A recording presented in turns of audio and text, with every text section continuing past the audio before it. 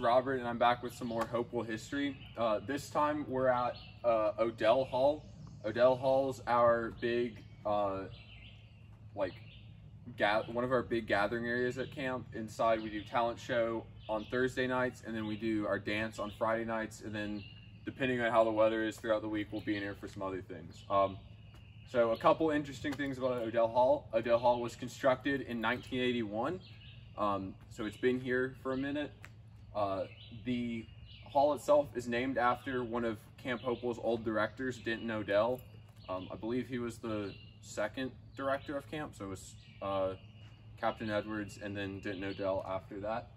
And then something that I didn't notice for the longest time, and a lot of people who come to camp still don't notice, is on the uh, chimney here at O'Dell Hall. You can see a cross that's been pushed out from the bricks, and so that's just an interesting thing that not a lot of people end up noticing uh, when they're down here at O'Dell Hall. So, thank you.